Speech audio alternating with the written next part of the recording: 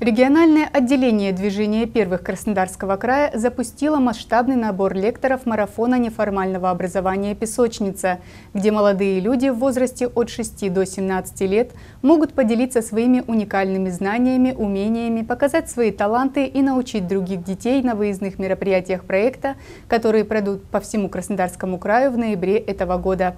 Марафон неформального образования «Песочница» – это уникальная возможность для талантливых и увлеченных детей поделиться со сверстниками своими знаниями и умениями.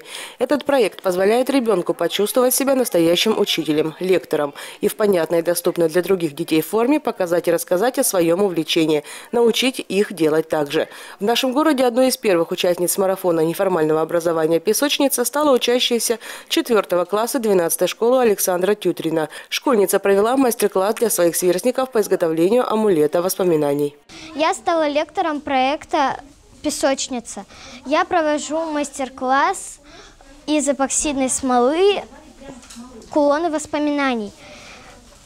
Туда мы добавляем разные блестки, цветы, и потом это застывает, и наше изделие хранится очень долго.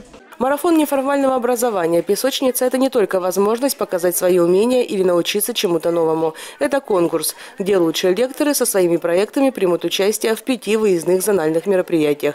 И об их талантах узнают дети со всего края. Анна Монастыренко, Станислав Бурбыко, программа «События».